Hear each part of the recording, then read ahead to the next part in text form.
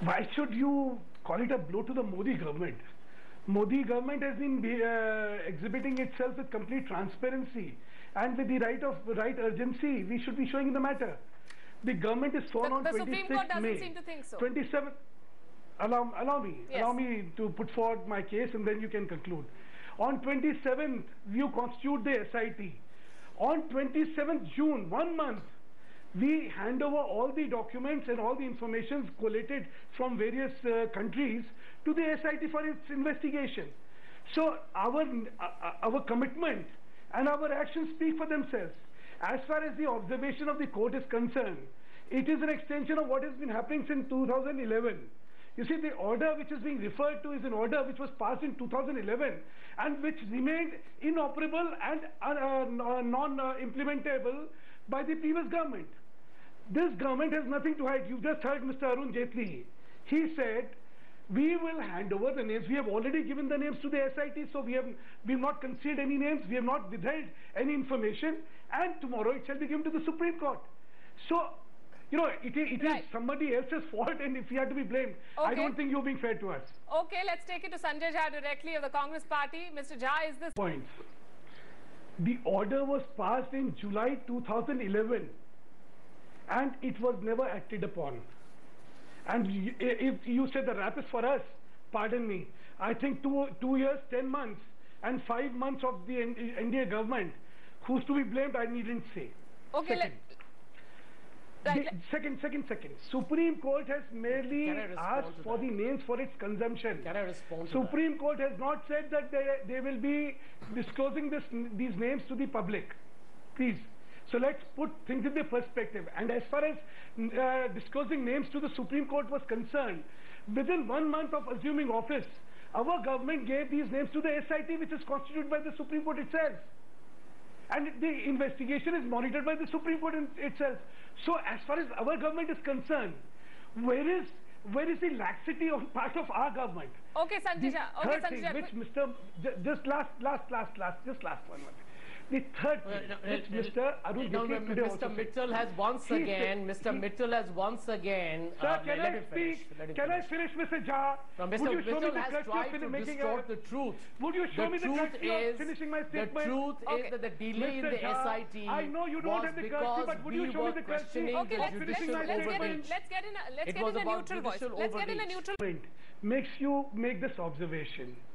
You please appreciate that within one month of coming to power, the SIT is given all the information. It gets into action and it starts collating information. So why is the Supreme Court this upset with the government? Inaction?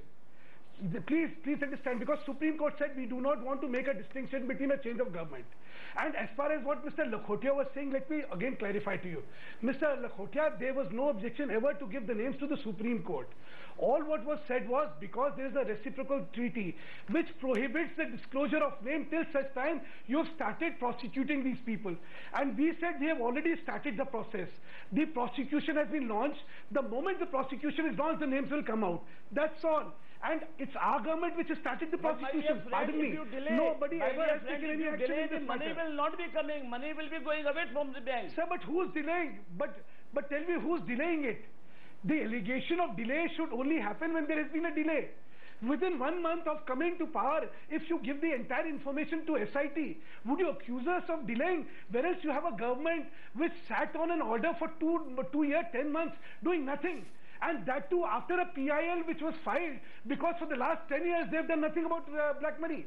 Come on. I mean, let's be objective. Let's not get into rhetorics. This government is committed and this government shall act in the matter. As I said, we have been prosecuting, we have been giving information. The only thing was the caution that because of a reciprocal uh, treaty, should you disclose name to the public without prosecution or not? That's about it. Now it is in the court of the Supreme Court. Supreme Court has also not ordered that you kindly disclose the name to the public. They have Right. merely taken the information for themselves. Let the Supreme Court examine everything and uh, place it before people. We have nothing to hide. And we are not apologetic about it at all. Let's understand this. Right, so sir. let's please put things in perspective. Instead of applauding us, I thought we should be applauded for the kind of action and the kind of earnestness we have shown in pursuing the matter. Well, maybe it's too early So to please, applaud, but let's let's let's, let's get about Sanjay Jha to respond to that. Mr. Jha, uh, what happened to the 100-day promise? Your promise? 10 years did not bring one rupee. What happened And, to the and why 100-day are you promise? one sir? hesitating statement on of- naming people? allow why me, only three me. names? You show why me one equal, statement why of Mr. equal Modi. monthly installment Sir, scheme? sir, you have spoken. Give me the How chance to speak now. Deceptive, how Mr. Mr. Mr. disingenuous Mr. can Jha, you be as a give me the please let party? Mr. Mittal respond. And Thank Mr. Modi, Mr. You Mr. Modi your lied to the people of I know India you in love the your campaign. wife, but allow the to Apologize to the people of India today. Mr. Jha, I know you love your You wife, have but been allow beaten us to black and blue by the Supreme Show Court. me one display statement some of Mr. humility Modi. today. Sir, sir, please. It is a classical case of the pot calling the cat in black. I'm amazed.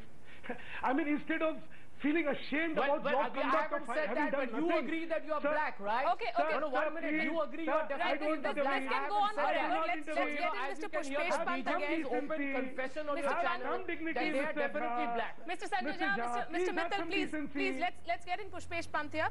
Uh, is We were the first one who gave the names to the SIT. If the government had anything to hide, why would it give to SIT? Within one month of assuming office. Look at the speed at which we acted in the matter. Secondly. Mr. Jha, Mr. Mr. Jha's eloquence about uh, money laundering, I don't think he knows the distinction between black money and money laundering.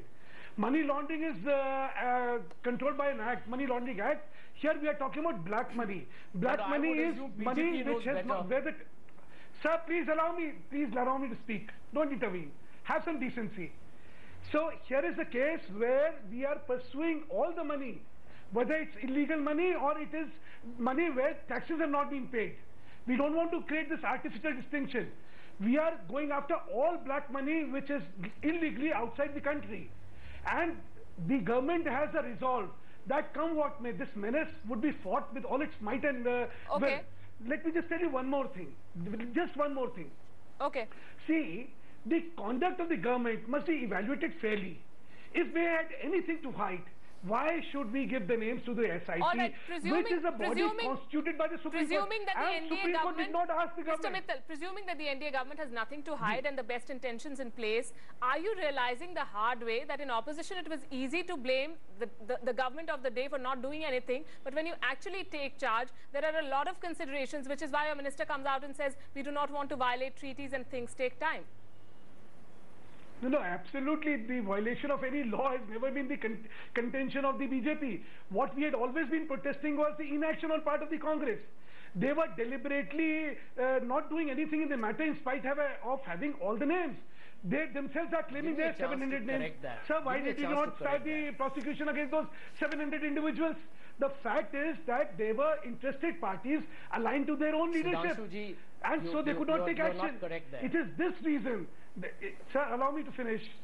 It is for this reason that we had been Sure, uh, protesting against the Congress. We had been saying there is money lying there, there is information available, but you're doing nothing about it. Disclosure of name was one thing. What we wanted was action taken, uh, taken against people Okay. who had deposited illegal money outside India. That's it.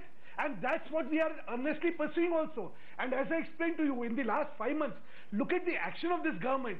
I think i- it speaks volumes of the intent and the and, and the content of the government's uh, resolve. Right. Subhash So, Lakhotia, if final you words dictate- as, as somebody let- who understands put tax and tax aside. matters. Do you do you see some fruitful Sudhanshuji, results coming out of want this? without bringing the black money? What is needed and the need of the hour is Sir, I have to follow the due, I have the to follow the due process of law. You may not each other. believe in law, we believe in law. Sir, you you may not believe in law, we believe in law. You, if you're a tax consultant, you will I understand believe in only that one thing. no wealth my can be money, confiscated. my country, Sir, money should come to India immediately, very Sir, fast. sir, you have to believe in the law of land. We are not anarchists. We have to believe in the law of land. And if the law of land is such, then that is what you have to believe in. May, may, I mean, I mean let- let- on, on a national. TV, Let on a national TV, on a national TV, sir, on a national, and let me tell you, this is fallacious. Your argument is not valid. Why? Because the moment a man is identified of uh, for having kept money uh, in a certain volume outside, that money he will uh, be facing all the penalties in prosecution. If the money doesn't come, he goes to the jail. Right. So don't don't think that the law of the country is toothless. Okay. The law of the country is capable of prosecuting these people to get money back. All right. But Oh. the intent is more important, and this is what this government and, and has. you insist the government has the intent. Uh, so Sudhanshu Mittal, Pushpesh Pant, Sanjay Jha, Subhash Lakhotia, thanks very much. Tomorrow, 10.30 a.m., the Supreme Court takes up the case again. And the government has promised to submit all the names to the court in a sealed envelope. And uh, that's where the SIT is going to take it forward from. This is something we'll be tracking very, very closely. Up next on India at 9 tonight, more national.